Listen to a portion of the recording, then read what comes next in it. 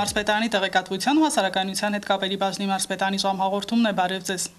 Հուլիսի 9-ից մինչև օգոստոսի 4-ը հայկական բարեգործական ընդհանուր միության Անդրանիկ սկաուտական ճամբարի նախաձեռնությամբ Թեժ Լերանստորոտում կբանակվեն հայ բարեգործական ընդհանուր միության սկաուտական կազմակերպության ճամբարները։ Այս տարի բանակումները կունենան երկու փուլ յուրաքանչյուրը 15 օր տևողությամբ։ Առաջին հանգրվանին մասնակցում են Սիրիայից, Լիբանանից, Վրաստանից, Արաբական Միացյալ Էմիրություններից եւ Բուլղարիայից ժամանած ավելի քան 120 հայ երիտասարդներ։ Երկրորդ հանգրվանը նախատեսվում է սկսել հուլիսի 24-ին, որին կմասնակցեն Երևանցի 85 սկաուտներ։ Բանակումի սոցիալ-կենցաղային խնդիրները նաև Լոռու մարզպետի ուշադրության կենտրոնում են։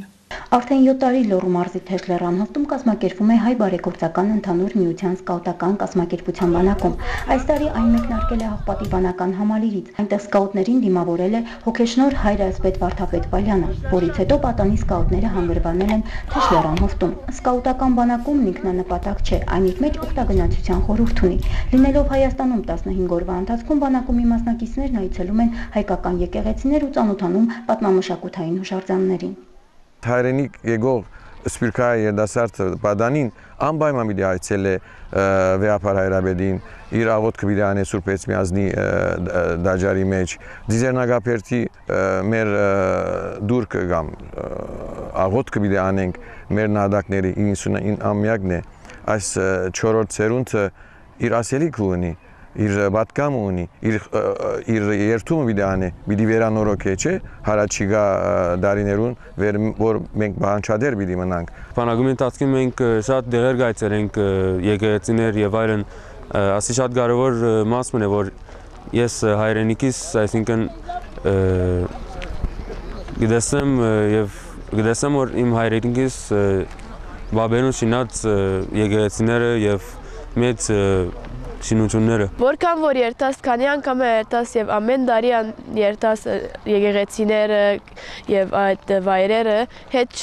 չես ցանցրանար եւ ավելի գուզես երթալ, որովհետեւ գսկաս որ հբարտ գսկաս որ դու քու ասկ ասանք բաներ ունին եւ որ ամեն ամեն երկիրներեն գուքան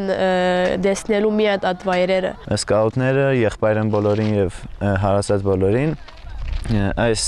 ճամբարների վանակումների միջոցով նրանք մոտիկանում են իրար սկսում եղբայրանալ տարբեր երկրների հետ նոր ընկերներ, նոր եղբայր քույրեր գտնում իրենց շրջապատում եւ այդպես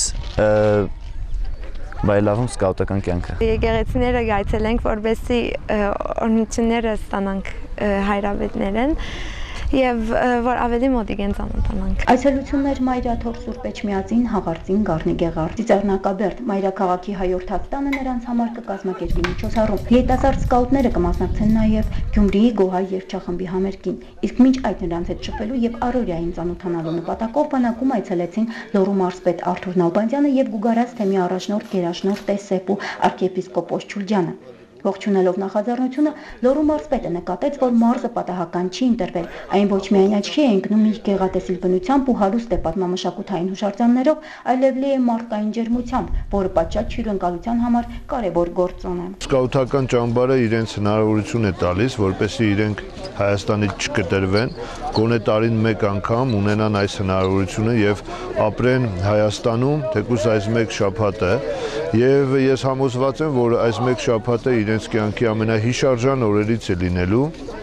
եւ անպայման այս մեկ շաբաթը իրենց դեռ բազմաթիվ անգամներ կբերի Հայաստան, հատկապես Լոռու մարզ, այս ճկնաղ բնաշխար, որից ես տեսա, որ իրենք իրոք հիացած էին եւ կային երեխաներ, ովքեր արդեն 3-4 անգամ էին սկաուտական ճամբարի բարիկներից օգտվում։ Լոռու մարզպետը շրջեց վրանների միջով, որոնք նախատեսված են բոլոր եղանակային պայմաններին դիմակայելու համար։ Բանակումի մասնակիցներն էլ ներկայացրեցին իրենց առօրյան, որն ամեն առավոտ սկսվում է փողի կանչով։ Սկաուտների եւ հյուրերի զրույցը շարունակվեց արդեն հյուրասրահում, որտեղ հարցը պատասխանի միջոցով Սփյուռքահայ պատանիներն ու աղջիկները տեղեկություններ ստացան մարզից եւ իմացան, որ այն ունի շուրջ 3000 պատմամշակութային հուշարձան, 37 գործող եկեղեցի ու հանքարդյունաբերական գործարաններ։ Արտուր Նալբանդյանը նաեւ նկատեց, որ մարզում կան հայրենադարձներ, ովքեր զբաղվում են ոչ միայն գյուղատնտեսությամբ ու ներգրաված են տարբեր ոլորտներում, այլև իրենց սեփական բիզնեսն են զարգացնում հայրենի երկրում։ Ասել է թե նպաստում են երկրի տնտեսական զարգացմանը։ Մարզի ղեկավարը հայ պատանիներին հորդորեց վերադառնալ հայրենիք,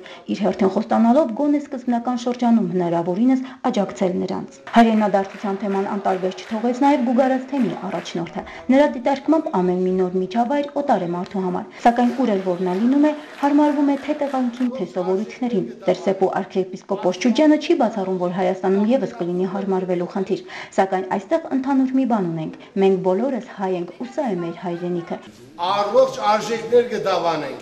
ազգային նկարագիր, պատկերացումներ ունեցող երեխաների, երիտասարդների պետք ունենք, որովհետև եթե այսօր Հայաստանը կա, գիտեք շնորհիվ որուն կա, եթե հայոց լեզուն կա, գիտեք շնորհիվ որին, ձեր նման երեխաների, մեր զինվորները, որոնք սահմանը կպաշտպանեն, այդ զինվորների նման հայ տղաներն են, որ կպաշտպանեն այս երկիրը, մեր մշակույթը։ Հետևաբար կուզեմ, որ դուք ալ անոնց նման եք, տղամարդ, առնական, աղջիկը, օյրոր, կանացի, գեղեցիկ, իր հատկանիշներով տղան էլ առնական պետք է լա, տղամարդ պետք է լա։ Մեր ժողովրդի այս հատվածն է, որ կպաշտպանե իր մայր հայրենիքը իր լեզուն, իր մշակույթը։ Այս պատանի սկաուտներից շատերը եթե ոչ վաղը, ապա մոտ ապագայում թերևս վերադառնան հայրենիք եւ հաստատվեն այստեղ։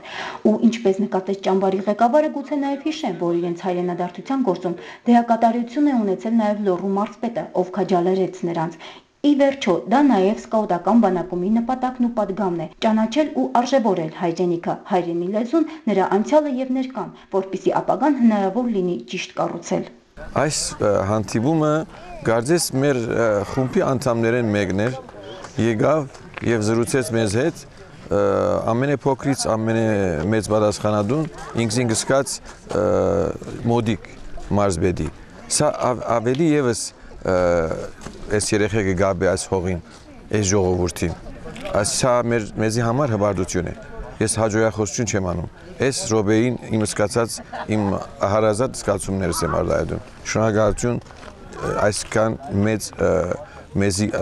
թե անագնգալին թե այս քեղեցիկ բահին համար։ Հատկանշական է, որ սա առաջին հանգրվանն է, որը կավարտվի հուլիսի 23-ին, իսկ մինչ այդ հուլիսի 20-ին կկազմակերպվի առաջին բանակոմի խարույր հանդեսը։ Երկրորդ հանգրվանի ժամանակ հուլիսի 24-ին Երևանը երկու մասնաճյուղով կմիանա բանակոմին։ Այնե Մկրտմյան Լիլիթ Յոլչյան, Մարսպետանի ժամ։ Լոռու մարզում կազմակերպվել էր Հայաստանի փոքր ու միջին ձեռնարկատիրության զարգացման ազգային կենտրոնի ներկայացուցիչների, անհատ ձեռներեցների եւ ոլորտի խնդիրներով զբաղվող շահագրգիռ կողմերի հանդիպում։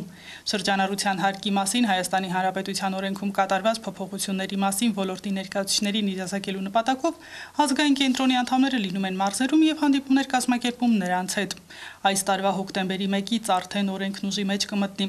Հատկանշական է, որ շրջանառության հարկի մասին օրենքում փոփոխությունը շրջանառվում էր դեռ անցած տարվա նոյեմբերից։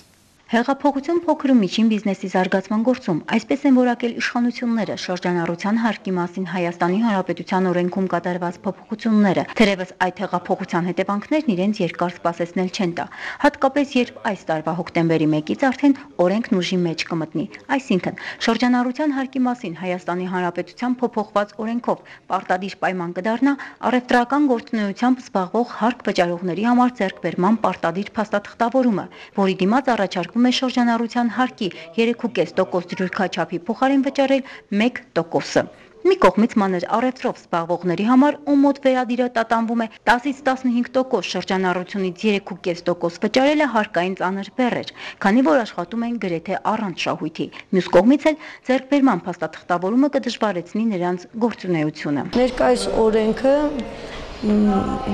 նոր փոփոխությունների հաշվին պահանջ է ներկայացնում փաստաթղթավորում, որը նաև խոչընդոտ է լինելու մեր եւ մեծ գործարարների միջև փաստաթղթավորման պահ, այսինքն բոլոր տեսակի ապրանքատեսակները մենք պետք է ունենանք դրանց համար փաստաթղթեր։ Իսկ դա գալիս է առավել խոշոր գործարներից, որոնք տրամադրելու են մեզ։ Դա ավելի շատ վերևից եկող խնդիր է, ավելի շատ խոշոր հարկատուների ու խոշոր մատակարարներից եկող փաստաթղթաշրջանառության շղթայի ապահովումն է, ու եթե մենք վերևից չկարողանանք ապահովել, այսինքն պետությունը եթե չկարողանա իր գործիքակազմով ստիպել այնուամենայնիվ որ խոշոր բիզնեսը տրամադրի փաստաթուղթ, ապա մենք բոլոր մարզերում խնդիրներ կունենանք։ Եվս մի օրենսդրական փոփոխություն հարկային դաշտում էլ վերաբերում է ընտանեկան բիզնես ունեցող ձեռնարկատիրություններին։ Նրանց համար սահմանվել է հարկային արտոնություն, ասել է թե ազատվում են գրեթե բոլոր հարկերից։ Ընտանիքի անդամներով բիզնեսով զբաղվողները կվճարեն միայն ամսեկ 5000 դրամ ֆիքսված եկամտահարկ։ Մեր այս գործառույթը նման հանդիպումներով չի սահմանափակվում, ինչպես միշտ եղել է, շարունակում են գործել մեր թեժգիծը, մեր մարզային գրասենյակ ժամանակը միշտ բաց է, այսինքն գործաները ցանկացած ժամին օրին կարող են գալ, այցելել կամ պարզապես զանգարել եւ տալ ցանկացած հաց, որոնք իրեն հետաքրքրում է։ Այս կերպ փորձ է արվում խթանել տնտեսությունում կատարվող գործարքների փաստաթղթավորումն ու տնտեսվարող սյուբյեկտների լիարժեք հարկումը։ Հայաստանի Հանրապետության վարչապետ Հովիկ Աբրահամյանն այս առիթով նկատել է. ձեռնարկատիրություններին նման հարկային արտոնություններ սահմանելու արդյունքում թեև պետբյուջեի եկամուտները մոտ 8 միլիարդ դրամով կպակասեն, սակայն նրանց կորուստներն արդարացված կլինեն, եթե խոշոր տնտեսվարողները բոլորն անխտիր բերվեն հարկային դաշտ։ Արմինե Մկրտումյան, Լիլիթ Յոլչյան, Մարսպետանի ժամ։ Վանաձոր Քիմպրոմի աշխատակիցներն անցած շաբաթ հերթական ցույցն էին կազմակերպել։ Պահանջն ամփոփող էր հստակ խոստումներ աշխատավարձերը մարելու, ինչպես նաև կոմբինատի ապակա ճակատագրի վերաբերյալ հստակություն մտցնելու պահանջով։ Բոլոր այս հարցերի պատասխանները նրանք ցանկանում են անձամբ ստանալ էկոնոմիկայի նախկին նախարար, այժմ Հայաստանի Հանրապետության նախագահի խորհրդական Արմեն Մովսիսյանից։ Ցուցարարների ներկայացուցիչները նախանդիպեցին մարզի ղեկավարի հետ, որից հետո հավաքվածներին տեղեկացվեց, որ մարզպետը կբանակցի Արմեն Մովսիսյանի հետ եւ նրա պատասխանը կներկայացվի ցուցարարներին։ Օրվա երկրորդ կեսին Վանաձոր ժամանեց նաև Արմեն Մովսիսյանը։ Արթուր Ալբանդյանը եւ նախագահի խորհրդականը ժամանեցին Վանաձոր Քիմփրոմ, որտեղ Արմեն Մովսիսյանը մամուլի հետ շփման ժամանակ տեղեկացրեց, որ առաջիկայում կոմբինատում կվերսկսվի ամոնիակի արտադրությունը, 6 ամսվա ընթացքում էլ կգործարկվի կորունդի արտադրությունը։ Իսկ ինչ վերաբերում է բանվոր ծառայողներին կոմբինատի ունեցած աշխատավարձերի պարտքերին, ապա այն կմարվի աստիճանաբար, մասնավորապես ամենաուշ օգոստոսի 10-ը կվճարվի 2-ից 3 ամսվա աշխատավարձ։ Իմ անունը շրջանառվում է նաև Նայրիտի բաժներերի թվում, իմ անունը շրջանառվում է նաև Ուկրաինայի մետալուրգիական հզոր կոմբինատների բաժնետերերի թվում, ես որևիցե կապ չունեմ։ Իմ այս մասնակցությունը կայանում է նրանով, որ երևի թե ամենախորը ես եմ ծանոթ այս խնդիրներին եւ բավականին երկար ժամանակ եմ զբաղվել սրանով, սա է ընդամենը պատճառը, որ սկսված բանակցությունները, որոնք ես վարում եի, շարունակում եմ եւ փորձում ենք վերագործարկել։ Եթերում մարսպետանի ժամն է շարունակում ենք թողարկումը։ Հայաստանի Հանրապետության Պաշտպանության նախարարի հրամանով ստեղծվել է հանձնաժողով, որը հանդիպումների անցկացնում պատերազմական գործողությունների հետևանքով անհետ կորած զինվորականների ընտանիքների անդամների հետ։ Հանձնաժողովը հանդիպումների անցկացնում Լոռու եւ Շիրակի մարզերում։ Հանձնաժողովի կազմում ընդգրկված են նախարարությունների ազգային ժողովի աշխատակազմի ներկայացուցիչներ, բժիշկներ, հոգեբաններ։ Հանդիպումը կազմակերպվել էր Լոռու մարզպետարանի եւ Վանաձորի Միացյալ զինկոմիսարիատի աջակցությամբ։ Հանձնաժողովի անդամների հերթական հանդիպումը Վանաձորի զինկոմիսարիատում էր։ Մարզային նման հանդիպումների միջոցով փորձ է արվում փոքրի շատ է մեղմել նման ընտանիքների սոցիալական խնդիրները, տրամադրել բարոյահոգեբանական աջակցություն։ Լոռու մարզի 15 անհայտ կորած ընտանիքներից ներկային 13-ի ներկայացուցիչները, որոնք գրավոր ներկայացրել են իրենց տարաբնույթ խնդիրները, աշխատանքի տեղավորում, առողջական, սոցիալական ու իրավական ուղղվածություն ունեցող այլ հարցեր։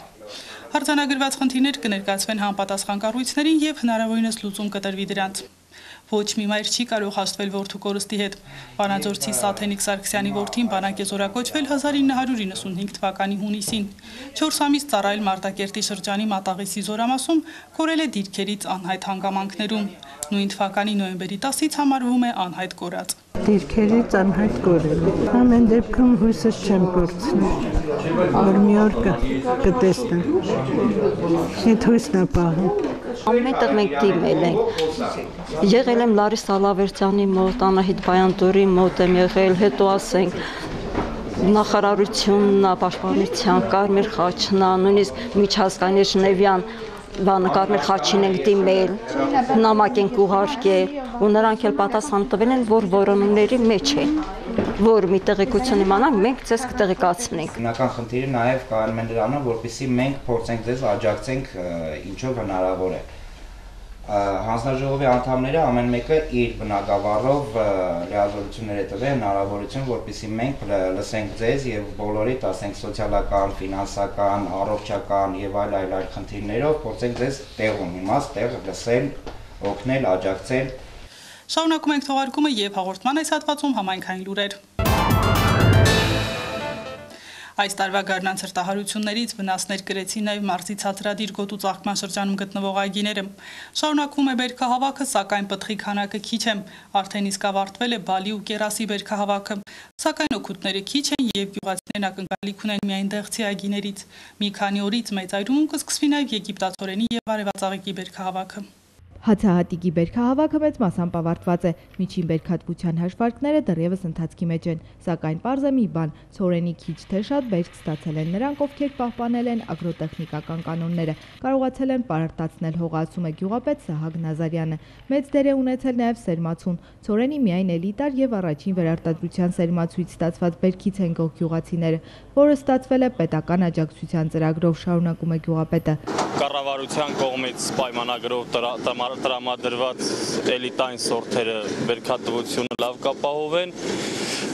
մոտ 4 տոն 40 ցենտներից էլիտային սորթերը բերք կապահովեն կան դաշտեր լավ են բերք տվել, կան դաշտեր վատ են բերք տվել, որոնք հին հին սերմեր են, հին սերմացուներ են, բերքատվության վրա ազդել են, որոնք առաջի վերարտադրության սերմացուներ են, ելի միջին բերքը 2.5-3 տոն ապահովել են, 30 ցենտներ, 25 ցենտներ Մեծ այրումի ցորենի դաշտում արդեն երկու օր է գյուղի մեխանիզատորները փորձում են գործի գցել կոմբայնը։ Տեխնիկան հին է ու հաճախ է խափանվում, իսկ գյուղացիներն էլ շտապում են օր առաջ բերքը դաշտից տուն տանել։ Ասում են ամեն օր կարկտահարության մասին լուրեր են իմանում։ Կարկուտ մարկուտ են կողքին տալը, մենք էլ վախում ենք։ Սիրնուս տապած այս մենք երկու բան մենք հավաքենք։ Կարող մենք կայնակ են կողքին եղեն կոմա կանենք։ Մեր էլած հատիկով։ Սորենի բերքի համար տարին այդքան էլ նպաստավոր չի եղել, բայց որ ծառերը պտուղ չտան, նման բան չեն հիշում։ Ես 25-26 տարի այստեղ ենք։ Առաջի տարի նաուերը հնը вообще պատկերացնում ես մի հատ անգամ վերեն չկա, մի հատ 10-15 ծառ ունեմ, մի հատ անգամ, ոչ մեկի վրա մի հատ անգամ չկա։ Դա այսպես չի եղել դեռ։ Բայց դե հիմա ստարյա թե տարա, ինչ անենք։ Ոչ եք կախվելու։ Պետք է մի կերպ յոլակյանք էլի։ Գրիգորի Մկրտչյանը այստեղ է հիմնավորվել Ադրբեջանի Շամխորի շրջանից։ Շուրջ 36 տարի ապրում է մեծ այրում ու մասնագիտությամբ գյուղատնտես չէ, բայց հողագործությամբ զբաղվելով քիչ թե շատ սկսել է սովորել հողի ճիշտ մշակության կանոնները։ Ասում է դժվարություններ միշտ էլ կլինեն, քանի դեռ գյուղում տեղի բնակլիմայական պայմաններին ոչ հարմար բույսեր են մշակվում։ Օգտակարը ծառը ուրիշ ոչ եմ բան այստեղ թուրքերը հիմար չեն լել, ծառից բացի ուրիշ ոչ մի բան չեն ցանել։ Այդ ծառը տնկում է, վերք տալիս է։ Շա։ Շուրջ 1 հեկտար տարածքում շեն բարեգործական հիմնադրամի եւ գերմանական ֆինանսավորմամբ գյուղում իրականացվում է բիբարի եւ տարբեր համեմունքային կանաչիների մշակություն, որը չորացվելուց հետո արտահանվելու է։ Մշակությունն իրականացվում է առանց պարարտանյութերի։ Նպատակն է արտադրել եւ արտահանել օրգանական սնունդ։ Սա հերանեկարային եւ լուրջ հնարավորություններ ընձեռնող ծրագիր է, ասում է գյուղապետը։ Կանաչեղենի ու բիբարի ցանքսի այս տարվա հաջողությունից հետո հաջորդ տարի ծավալների մեծացում է նախատեսվում մինչև 20 հեկտարի չափով։ Այս պահին 7 մարտ աշխատում է օրական մինչև 3500 դրամ աշխատավարձով։ Մոտ մի 30 աշխատատեղ գյուղում կապահովի զուտ աշխատատեղ։ Նաև հերանեկարում ֆերմերային տնտեսությունների հետ են պայմանագիր կնքելու ու այդ ֆերմերային տնտեսությունները իրենք են արտադրելու, բերեն չորանոցում չորացնեն, նորից արտահանեն։ Մերիկոլոլյան Գևորգ Քոչինյան, Մարսպետարանի ժամ։ Տարիներ առաջ ճոճկանի բնակիչներից շատերը նույնպես անցել էին արևածաղկի մշակմանը, ստացվող եկամուտը գոհացնող էր։ Դրանից ողջևորված գյուղացիներն ավելացրին ցանկատարածությունները, սակայն վերջին 2-3 տարում արևածաղիկ մշակողների թիվը կրկին նվազել է։ Թեպետ գյուղացիները նշում են, որ արևածաղկի բերքի հետ կապված իրացման խնդիր չի լինում, այն ունի կայունգին։ Ի տարբերություն ցորենի ու գարու, որ ճոճկանում չեն ոռոգում, լավ բերք ստանալու համար արևածաղկի ցանկատարածությունները մի քանի անգամ անհրաժեշտ է ոռոգել։ Այդ դեպքում էլ բարձրանում է արևածաղկի մշակության ինքնարժեքը նվազում եկամուտը։ Այդ պատճառով ճոճկանում շատերն արդեն հրաժարվել են արևածաղկի մշակությունից։ Մոտ արևածաղիկը քիչ են ժողովուրդը ցանել, միջև մի 100 հեկտար անցած տարվա համեմատ, մինչև 300 հեկտար են ցանել։ Իսկ թվում է մթերման համար այդքան խնդրեմ չի լինի այս տարի, քանի որ եթե քիչ են ցանում, այլ մթերումն էլ արդեն հեշտ անում։ Հետո պետությունը մեզ առաջարկալ գյուղատնտեսության նախարարությունը նոր ասենք սերմացու տալ արևածաղկի մշակում եւ միջև մթերում ու ժողովրդի մի քանի մարդիկ առաջարկը ընդունել են, առայժմ կսպասենք տեսնենք հետագայում ինչ կլինի։ Ռոռոկման ջրի թանկությունից ու բերքի սակավությունից այգեկորտ Սամվել Խուդինյանը չի դժգոհում։ Արդեն երրորդ անգամ է ռոռոքում է արևածաղկի ցանքսերը։ Հարևան ռոռոկված արևածաղկի դաշտերում բույսերը նվազեն։ Բարակ ու փոքր սերմնազամբյուղներով իր ցանքսերում ճիշտ հակառակը։ Փարթամորեն աճած արևածաղիկը բարձր բերք է խոստանում։ Պակաս առաջ չի լինի նաև դեղցի բերքը։ Հատիկը լավ է, իրոք չորային էր նրա համար տարին։ Բայց պտուղը փարքասու խնձորը բռնած է Տեղ սիմաներ ծառը բռնած է, երիտասարդը մեծ ծառը բռնած չի։ Արևածաղիկն էլ տենում եք։ Եթե ջուրը լինի մշակենք, կստանանք։ Արևածաղիկը մշակել է ձեռքով իրացման խնդիր չունի, վաճառքի ու գնի հետ կապված եւս խնդիր չկա։ 500-ից մինչև 700 դրամի սահմաններում կայուն գինը պահպանվում է։ Արևածաղկի մշակման առումով միայն մի խնդիր կա, ասում է Սամվելը։ Եկամտա վերա, բայց սա էլ իր պրոբլեմն ունի, ասենք նույն դաշտում երկրորդ անգամից ավել չես կարացանես։ Պետքա 8 տարի անց կենա, որ նույն դաշտում կայուն ասելի ցանես։ Հիվանդությունին չեն թողում բերք ստանաս մի տար, երկու տարի ցանում ես, պետք է մի 8 տարի սպասես։ Սա էլ է դժվարությունն ունի։ Նորիկ Գալստյանը սեփական այգի չունի։ Իր ընկերոջն է օգնում ծառերի մշակման գործում։ Ասում է, թե դեղցանիները որոշ չափով բերքատվություն են ապահովել, սակայն դա պտղի մշակությամբ զբաղվող գյուղացու համար չի կարող անհրաժեշտ եկամուտ ապահովել։ Դե քիչ է, սա ինչ է, անցել տարի տելեր կոտրատեր զուտ, տարի քիչ է։ Ճոճկանի հարևան Խարկոպ համայնքում եւս կարելի ասել բերք չկա։ Ամեն տարի այս շրջանում Խարկոպեցի բազմաթիվ կանայք այստեղ մայրուղու մոտ իրացնում են իրենց արտադրանքը, սակայն այս տարի ուղակի վերավաճառում են մրգերն ու բանջարեղենը։ Սեփական այգու ոչ մի միրգ չունեն, իսկ տասնյակ առևտրականներից մնացել է միայն մեկը։ Գնում ենք Վրաստանից ենք բերում, բայց տամոժնյան էլ ենքան խիստ է, որ շատ դժվարությունով։ Մեր զրուցակիցը պատմում է, որ տեղի եղած մրգերն ու բանջարեղենը փորձել են վաճառքի անել, սակայն կարկտահարությունից վնասված պտուղը ապրանքային տեսք չունի ու դրա վաճառքը եկամտաբեր չէ։ Մերի Գոլորյան, Գևորգ Քոչինյան, Մարսպետարանի ժամ։ Լոռու մարզի դեպետ գյուղի թիվ 1 խնդիրը գյուղամիջյան ճանապարհների պահպանությունն է։ Հատկապես սելավների ժամանակ դրանք դառնում են դժվարանցանելի։ Մեծ վտանգ է ներկայացնում գյուղի միջով հոսող գետակը, որը վարարումների ժամանակ դուրս է գալիս ափերի ցեղեղում, առաջնյա տնամերձերը վնասում առանձնատներին քանդում ճանապարհները։ Ամռան ամիսներին Լոռու մարզի դեպետ համայնքն ակտիվանում է, տեղի բնակիչները հպարտությամբ են նկատում։ Դեպետի գեղատեսիք բնությունն ու գետը հրապուրում են հայրուրավոր մարդկանց, ովքեր ուրախությամբ իրենց հանգիստն են անցկացնում գյուղում։ Ընդհանուր առմամբ համայնքում հաշվառված է 830 բնակիչ, սակայն այս օրերին այդ թիվը կրկնապատկվում ու երբեմն հասնում է գրեթե 2000-ի։ Իհարկե կարճ ժամանակով հյուրընկալվող մարդիկ այնքան էլ ծանոթ չեն գյուղի խնդիրներին, բայց ճանապարհի խնդիրը չնկատել չեն կարող։ Հատկապես հորդառատ անձրևներից հետո ճանապարհը դառնում է գրեթե անանցանելի։ Ճանապարհ չունեն գյուղը, մեքենայով էլ են գալիս, չեն կարողանում բարձրանանք այս թաղամասը, ոտքով էլ ենք շատ դժվարությամբ գալիս։ Ուղղակի կարելի էր էլի որ մի քիչ մաքրվեր, այս անձրևներն է որ եկել լրիվ ավելի է շատացրել քարերը, լցրել ճանապարհը հնարավորություն չկա գնալ գալու Այս խնդիրը համայնքի նորընտիր ղեկավարը ժառանգել է իր նախորդներից։ Արարատ Քոչարյանը 3 ամիս է ինչ ստանձնել է գյուղապետի պաշտոնը, սակայն հասցրել է խնդիրը ներկայացնել մարզի ղեկավարներին։ Սպասում է պատասխանի։ Հույս ուներ, որ գյուղի ճանապարհաշինության հարցը կընդգրկվեր 5-րդ հրատապ ծրագրում, սակայն դեռ պատասխան չկա։ Բանն այն է, որ գյուղի միջով հոսող կետը գյուղի եւ հպարտության եւ խնդիրների աղբյուր է, որը վարարումների ժամանակ գյուղի վերևի հատվածից փոխելով հունը հոսում է դեպի առանձնատներ, հեղեղում տնամերձերը, բնակարանները վարանները, նկուղները, քշում մեքենաներ։ Արդեն տասնամյակներ այստեղ խնդիր է ոչ միայն ճանապարհների վերանորոգումը, այլև սելավատարների կառուցումը այն տանգավոր տեղերը, որ կարելի է սելավ, սելավատարը կառուցել, դրանք ուսումնասիրած է ու տեղերը նշած, որտեղ պետք է, որտեղից պետք է, որտեղ պետք է սելավատարները կառուցվեն։ Այդ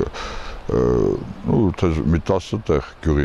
գյուղում մոտորապես 2 2 կիլոմետր տարածություն, պետք է սելավատար խողովակներ դնի, որ արդեն ջուրը կհեռանա։ Գյուղում հրատապլուծման կարիք ունի նաև մանկապարտեզի կառուցման հարցը։ Ըստ էության այստեղ մանկապարտեզի շենք որպես այդպեսին գոյություն չունի ու նախադպրոցական տարիքի 25 երեխայի համար մանկական հիմնարկ է դարձել գյուղի դպրոցի ուսուցիչներից մեկի տան մի հատվածը։ Համայնքի ղեկավարը խոստովանում է, եթե շենքային պայմաններ լինեին, ելի երեխաներ կհաճախեն, բայց առայժմ նոր շենքի կառուցման հետ կապված հույսեր չկան։ Փոխարենը մեծ թափ են ստացել գյուղապետարանի շենքի վերակառուցման աշխատանքները։ Շինաշխատանքների եւ գույքի ձեռքբերման համար հատկացվել է ընդհանուր առմամբ 28 միլիոն դրամ, որից 16-ը կառավարության ներդրումն է, 10 միլիոնը քաճերպար կազմակերպության, իսկ 2 միլիոնն էլ ներդրվել է համայնքի բյուջեից։ Թե ինչպես է գյուղի խնդիրների ընդհանուր ֆոնի վրա առաջնությունը տրվել գյուղապետարանի շենքի վերականգնմանը չի քննարկվում։ Արարատ Քոչարյանը պատասխանում է.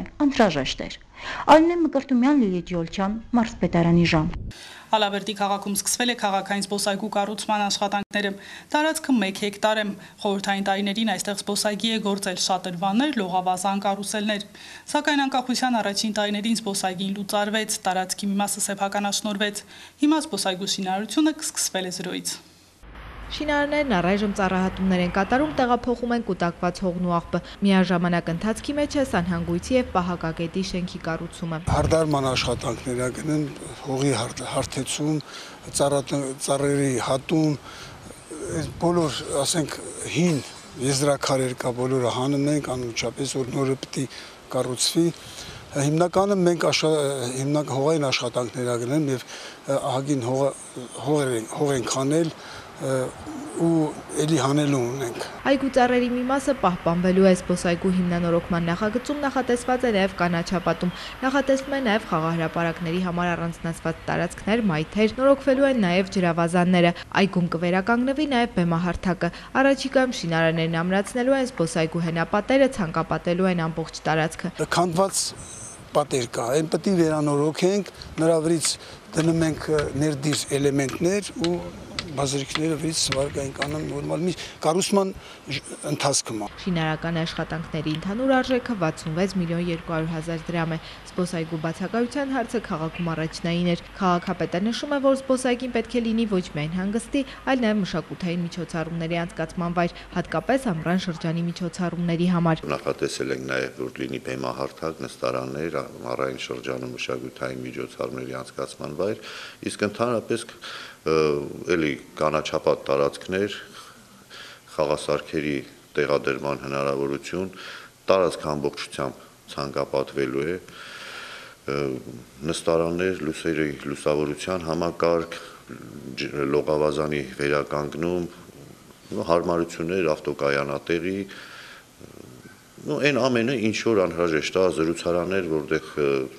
մարդիկ կարող են նստել, հանգստանալ, խաղալ, այսինքն ընդհանուր նպատակը այնպեսին է, որ յուրաքանչյուր տարիքի մարդ սկսած երեխայից մինչև ավակ սերունդի ներկայացները կեսաթոշական տարիքի կարողանան իրենց նախասիրություններին հարմար զբաղմունք գտնել տվյալ տարածքում եւ հաճելի ժամանակ անցկացնել։ Արդեն կայացել է եւս երկու կանաչ արհեստական խոտածածկով խաղահրապարակների կառուցման մրցույթները։ Այսպիսով Ալավերդի քաղաքը կունենա 6 արհեստական կանաչ խոտածածկով խաղահրապարակ։ Մերիկոլոլյան, Արման Տիտանյան, Մարսպետարանի ժամ։ Անցնող շաբաթ մարզի միանգամից երկու քաղաք նշեցին իրենց տոները։ Հուլիսի 15-ից մեկնարկեցին Սպիտակ քաղաքի տոնակատարությունների շարքը։ Տոնը դարձել էր կրկնակի, քանի որ Սպիտակ են ժամանել ֆրանսիական հույս Հայաստանի կազմակերպության անդամները, ովքեր Հոբելյար քաղաքում տարբեր մշակութային միջոցառումներով նշում են երկու քաղաքների բարեկամության 20-ամյակը։ Սպիտակ քաղաքը սպիտակցիների հետ իր հերթական հոբելյանն նշում։ Հուլիսի 15-ին մեկնարկեց քաղաքային միջոցառումների մի ամբողջ շարք, որը համախմբել էր մշակույթի, կինոյի, թատրոնի, սպորտի տասնյակ սիրահարների։ Սպիտակի քաղաքապետարանն ամեն ինչ արել էր, որ քաղաքում տոնական տրամադրություն տիրի։ Փառատոնը սկսվեց ժողովրդական տոնահանդեսով։ Քաղաքի տոնի առիթով ես ուզում եմ բոլորի շնորհավորել, բոլոր սպիտակցիներին, որովհետև բոլորն էլ սիրում են իրենց քաղաքը։ Բոլորը անխտիր, այդպիսի մարդ չկա, որ որտեղ էլ լինի, աշխարհի որ ծայրում էլ լինի, նա իրեն համարում է սպիտակցի եւ հպարտորեն է այդ անունը կրում եւ ուզում եմ հավաստիացնել մեր սպիտակցիներին, որ մեր թիմը, մեր կազմը եւ ընդհանրապես սպիտակ քաղաքի բոլոր հիմնարկները, ձեռնարկությունները ջանք ու երամ չեն խնայում, որպիսի սպիտակցու վաղվաղորը դառնա ավելի բարեկեցիկ, ավելի ապահով եւ ավելի հարմարավետ։ Մինչ դասական համերգի ունկնդրումը սպիտակցիները դիտեցին Սլավ ստուդիայի պատրաստած ֆիլմը Քույր քաղաքների 20-ամյա համագործակցության վերաբերյալ։ Այնուհետև քաղաքի մշակույթի պալատում հանդես եկան աշխարհի տարբեր բեմերում արդեն ծափերի արժանացած դաշնակահար Արթուր Ահարոնյանը եւ Հայկ Դավթյանը։ Հաճելի ստեղծագործությունների համար հանդիսատեսի ծափերին արժանացան տեղի երաժշտական դպրոցի սաները։ Մարզասերների համար քաղաքի 8 դպրոցների տարբեր ֆուտբոլային թիմեր իրենց ուժերը փորձեցին մեծ խաղադաշտում։ Հաղթողները ապարգևատրվեցին գավաթներով ու տարբեր խրախուսական մրցանակներով։ Փառատոնի ընթացքում եղավ նաև տեխնիկային ներկայացում եւ ֆիլմերի ցուցադրություն։ Շատ բաներ արվում են, շատ բաներ դեռ կան անելու քաղաքում։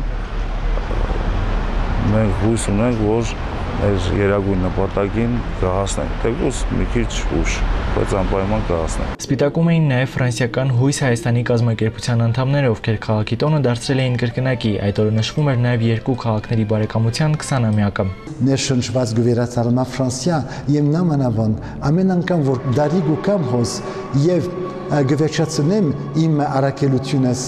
գներ շնչվին կալ դարվան համար ինչ պիտի ունեմ դեվ երբեմ այնքան գնվիրվինք որ գսեմ արդյոք ինչ կրնանք նորեն դեվ այսօր հեշտ չի 20 տարի վերջը փո հավաքել մարդոց հետաքրությունը բահել բայց ես գնշնչվին եւ եւ գվերատառնա մարդի գսեն բայց ինչ ուժ գացել մեջը որ գնանք նորեն նոր ծրակիրներ մշակել սինախ այս ուժը աստծմի գուկա երկրորդ ժողովուրդը Սպիտակի քաղաքապետ Գագիկ Սահակյանը բարձր գնահատեց 20 տարիների համագործակցությունը եւ կազմակերպության ներկայացուցիչներին հանձնել շնորհակալագրեր։ Գևորգ Դերցյան, Լիլի Դիոլչյան, Մարսպետարանի ժամ։ Իսկ Ալավերդիում 3 երատոն էր։ Ալավերդի օրը հանքագործի ու մետալուրգի օրը եկեղեցու հիմնադրման 14-ամյակը։ 244 տարի առաջ Արևմտյան Հայաստանից լորի հրավիրված առաջին հույն ընտանիքները հիմնադրեցին Ալավերդին։ Դրանից հետո արդեն 2.5 դար բանձագործների քաղաքը կապված է հանքագործությանն ու մետալուրգիային։ Ալավերտուտոնի նվիրված միջոցառումները նույնպես մեկնարկել են շաբաթվա առաջին օրից։ Ցուցահանդեսներ, բակային ու թաղային բազմաբնույթ միջոցառումներ, կրթական հաստատությունների շենքերի բացումներ։ Այդ ամենը եզրափակվել են մետալուրգ մարզադաշտում մեծ միջոցառումով ու հրավառությամբ։ Վեր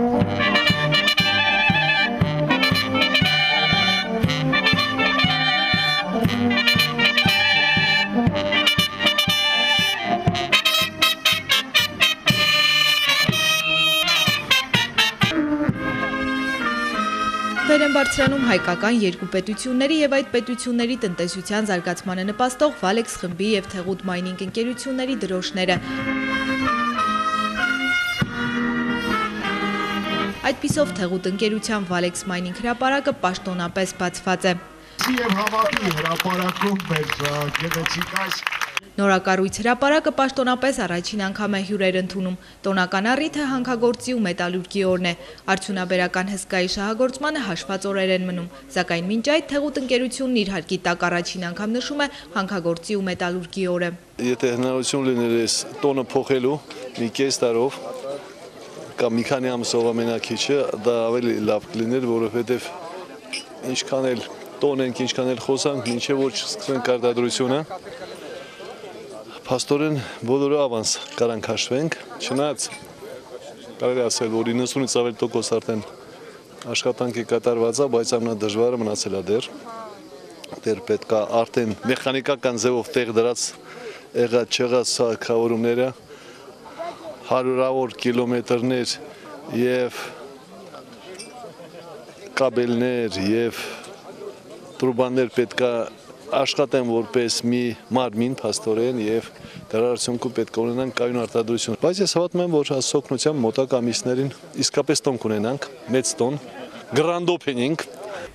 Մասնագիտական տոնի արդիվ շնորհավորանքների պակաս չի զգացվում։ Հանքագործներին ու մետալուրգներին շնորհավորում է Valex խմբի ընկերությունների նախագահ Վալերի Մեջլումյանը եւ ավանդույթի համաձայն մի քանի տասնյակ աշխատակիցների ապարգևատրում շնորհակալագրերով եւ դրամական խոշոր ապարգևներով։ Պարգևատրվում են ինչպես Թեղուտ ընկերության, այնպես էլ Valex խմբի մյուս ընկերությունների Լեռնամետալուրգիայի ինստիտուտի, ACP, Base Metals ընկերության աշխատակիցները, որոնց համար մասնագիտական տոնը մեծագույն խորհուրդ ունի։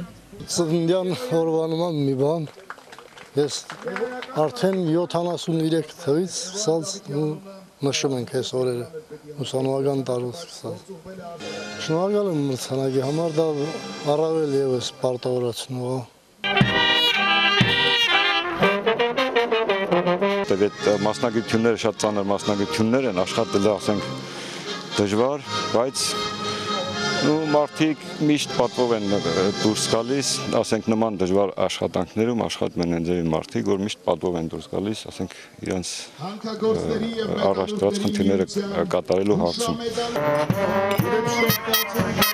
Պաշտոնական արարողակարգից հետո օրվա հերոսները միմյանց շնորհավորում են մեկ գավաթ շամպայնով եւ տոնը շարունակում նշել Վալեքս տուր ռեստորանում տոնական սեղանների շուրջ։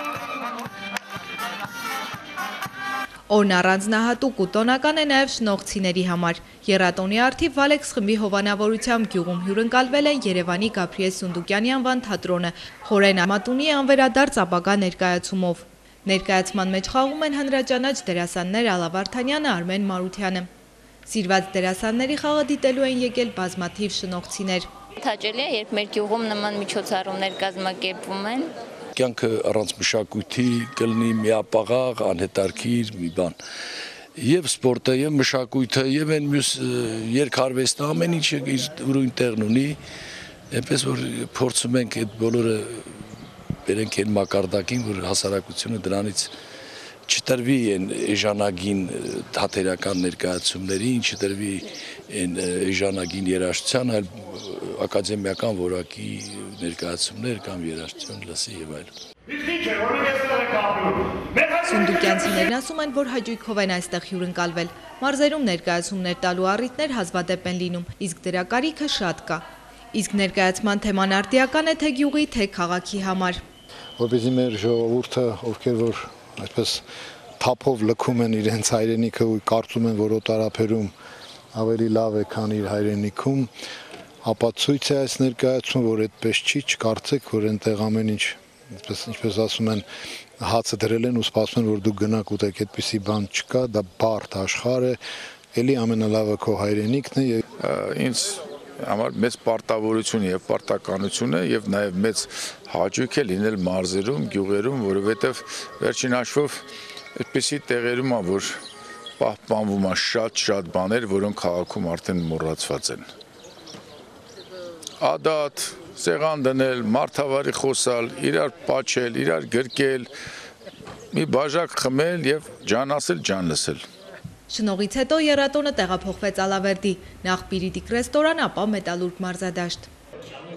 Օրվա հերոսները մետալուրգներն են, որոնք երատոնը նշեցին կորպորատիվ խնջույքով։ Տոնական ու բարձր տրամադրություն է տիրում, իսկ առիթն իհարկե քաղաքի ու մասնագիտական տոնն է, որին ալավերցիները սպասում են։ Ալավերդի քաղաքն արդեն 244 տարեկան է, նույնքան տարվա պատմություն ունի այստեղ նաև պղնձարտադրությունը։ Վալեքս խմբի ընկերությունների նախագահ Վալերի Մեջրումյանը նույնպես շնորհավորում է, ապա խոսում արտադրական ցուցանիշների, նոր արտադրամասերի գործարկման եւ արտադրական ծավալների ավելացման մասին։ Ներկաներին շնորհավորում է նաեւ Հայաստանի Հանրապետության լոռու մարզպետը։ Շնորհավորանքներից հետո ապարքեվատրումների հանդիսավոր արարողություն է։ Վալեքս խմբի ընկերությունների նախագահ հանձնում է ապարքևները։ Ընկերության երկու տասնյակից ավելի աշխատակիցներ դրամական խոշոր պարգևներ ստացան եւ դիպլոմներ մասնագիտական հաջողությունների համար։ Նախ շնորհակալություն պարգևի համար, 13 տարի է որ աշխատում եմ, շատ գոհ շնորհակալ եմ պարգևի համար։ Ուրեմն սա ավելի է պարտավորում մեր աշխատանքը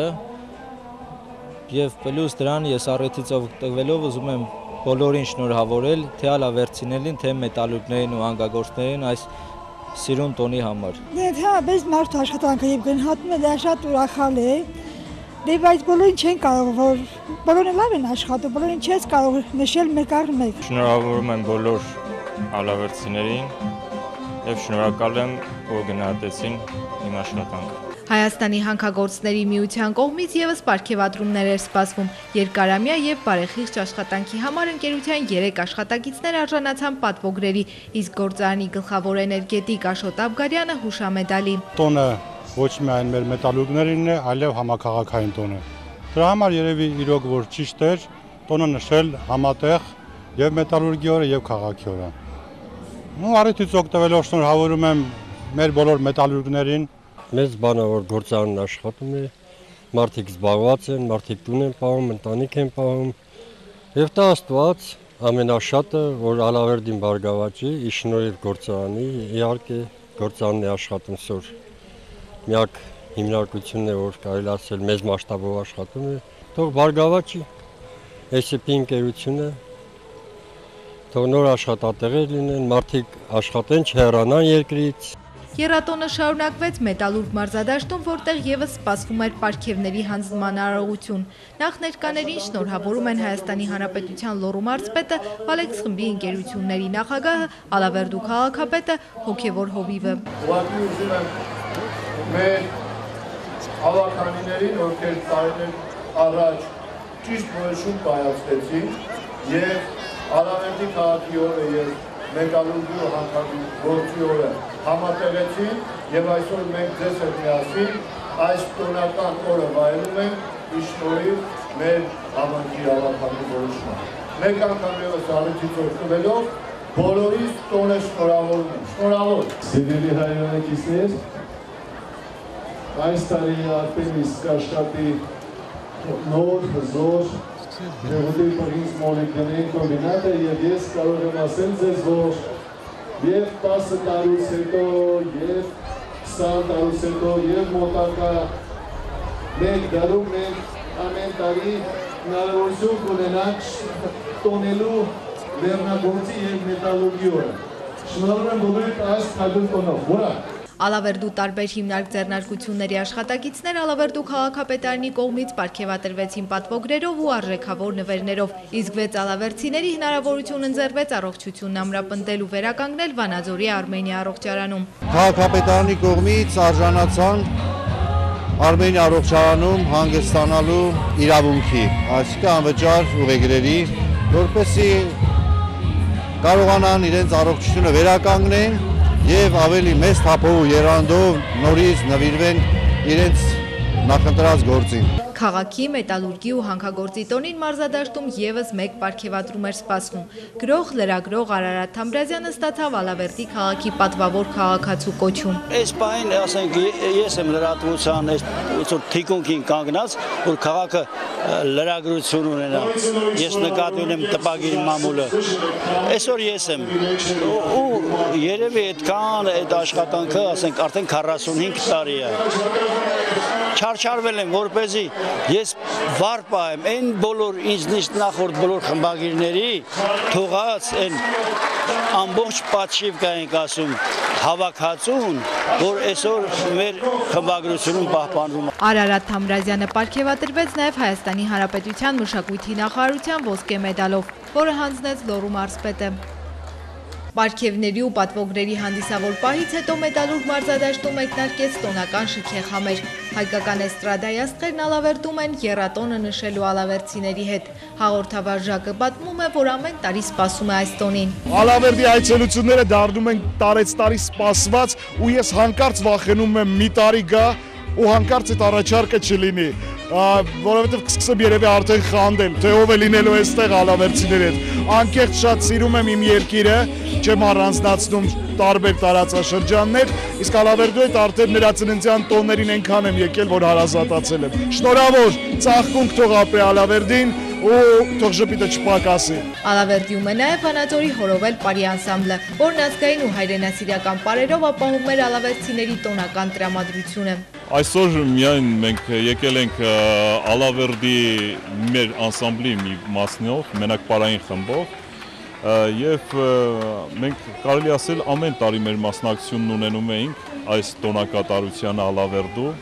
եւ մեծ սիրով են գալիս։ Տոնական ու բարձր տրամադրություն էր տիրում մարզադաշտում մինչև ուշ երեկո։ Ալավերցիների հետ երատոնը նշում են նաեւ բազմաթիվ հյուրեր։ Ես շնորհավորում եմ Ալավերդու տոնը, չնայած ես որ այստեղից չեմ, բայց շնորհավորում եմ։ Հյուր եմ եկել այստեղ։ Ամեն տարի գալիս եմ, շատ եմ սիրում։ Իրենց լավագույն երգերով հանդիսատեսին ներկայացան Սոնա Շարգերտյանը, Արսեն Սաֆարյանը, Էմա Ասատրյանը, իսկ մեր համակարգացի Լիլիթ Կարապետյանի այս նալավերդի հաճելի անակնկալ էր։ Հուզմունքս շատ ավելի շատ էր, որ այսօր այսպիսի մեծ տոնի կապակցությամբ եմ եկել,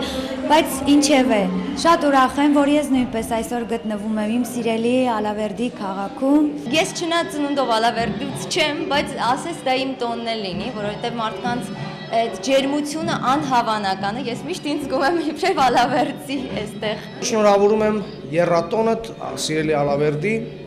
լավ եղեք միշտ եւ ժպտացեք, սիրելի ալավերդցիներ։ Տոնական ուրախ տրամադրությունը Մետալուրգ մարզադաշտում թևածում էր միջև ուշ երեկո, իսկ տոնական օրն ավարտվեց շքեղ հրավառությամբ։ Մերի Կոլոլյան, Արման Տիտանյան, Գևորգ Քոչինյան, Մարզպետարանի ժամ։ Անցնող շաբաթ Վանաձորի Հովանես Աբելյանի անվան պետական դրամատիկական թատրոնում պրեմիերա էր Թբիլիսի եւ Վանաձորի թատրոնների բարեկամության ու համագործակցության 50-ամյակին նվիրված բեմադրվել է Թբիլիսի Ադամյանի անվան թատրոնի գեղարվեստական ղեկավարի Արմեն Բայանդուրյանի պիեսը։ Աշտանային իրիկնամուտ այսպես է կոչվում ներկայացումը, որ գլոբալացնող միայն քաղաքական ու տնտեսական վայրի վերումներով ապրող արժեքային խառնաշփոթի դեմ մոլորված հասարակությանը զուգահեռ մի փոքրիկ աշխարհի պատմություն է փոքրիկ այս աշխարհն ընկնելու պատճառը մեզ շրջապատող ու աներևույթ երկրաչափական սև խորոչում պատահաբար հայտնվելը չէ, այլ ձևախեղվող մարդկային նոր հարաբերությունների հորցանուտից դուրս ընկնելը։ Փոքրիկ աշխարհը ծերանոցն է, մեկին բերել են, մյուսն ինքն է եկել, բայց փոքր այս աշխարհն էլ սառնության ու անհաղորդ գրքերի աշխարհ է, որ հաստատության ծառայողների միջոցով ամեն օր ու ամեն ժամ հետապնդում է ծերանոցի բնակիչներին։ Ծերերի համար աշխարհի հետ միակ կապը լուսամուտն է, որի դիմաց ծննդատան պատուհանն է։ Այնտեղ ամեն օր նոր մարդ մարդու ծննդյան գալուստ է ազդարարվում ու ամեն անգամ վաղուց մայրանալու կենսաբանական հնարավորություններին հրաժեշտ տված մամիկներն ասես ծննդյան ցավեր են ապրում յուրաքանչյուր մայրացողի հետ։ Նեղ պատուհանից մեծ ճիգերով նրանց փոխանցում իրենց փորձը։ Դա է սերունդների ժառանգականության բանաձևը, բայց նոր բարձրահարկի պատն է բարձրանում ծնդատան ու ծերանոցի միջև։ Սպիտակ պատ, որ փակվելու է այս աշխարհի հետ կապը, ասել է մարդկության հազարամյակներով կൂട്ടակածը բնականon փոխանցելու հնարավորությունը։ Սպիտակը հիշողության կորստի գույնն է, ուրեմն մենք ամեն օր սպիտակ պատ ենք կառուցում մեր շրջապատում, սոցիալական ցանցերում, դասագրքերում ու բարձրացնում ենք այդ պատն ու զատում անցյալն ու ներկան, զատում ավանդականն ու այս րոպեականը, խախտում ունեցածն ու կուտակածը սերունդներին ժառանգելու կենսաբանական օրենքը։ Ներկայացման ավարտին դանդաղ ու հանդարտ հիշողության կորստի պատի ետևից իջնում են դեպի ծննդատուն, թե դեպի մեզ անտարբեր աշխարհում ապրողներից մեկնված ձեռքերը, իջնում են մարող մոմերի նման, իջնում հանդարտ ու անաղմուկ, բայց այդ հանդարտության մեջ ճիչ կա, լուր մի դղրտյուն, որով բեմադրիչը փորձում է մի պահ կանգնեցնել տարօրինակ այս շրջապտույտը եւ ստիպում մեզ խորհել անաստված։ Նա ճանապարհին քեզ համոզում է, որ այնտեղ էլ կյանք կա։ Այսքանն ենք պատրաստել այս թողարկման համար ցտեսություն եւ ամենայն բարիք ձեզ։